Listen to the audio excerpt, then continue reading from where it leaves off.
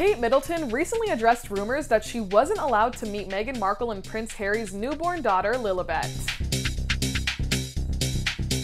Hey, what's up, everybody? It's your girl, No Better Nina, and welcome back to The Things News. With the media constantly portraying Kate and Meghan as having an issue with one another, Kate put those rumors to rest after speaking with reporters while on a visit to a school with US First Lady Jill Biden. Kate expressed her well wishes to Meghan and her excitement to meet Lilibet sometime soon. Kate's statement put a rest to rumors that had been circling around for three years now after Meghan and Harry initially left Kensington Palace, allegedly because of the drama between them and the Cambridges. Those rumors were were further amplified once the media had reported that Meghan was rude to a member of Kate's staff, which the palace eventually stepped in and denied. I'm your host, No Better Nina, and be sure to head over to thethings.com for the full story and more on celebrity and entertainment news. Thanks for watching, and I'll see you later.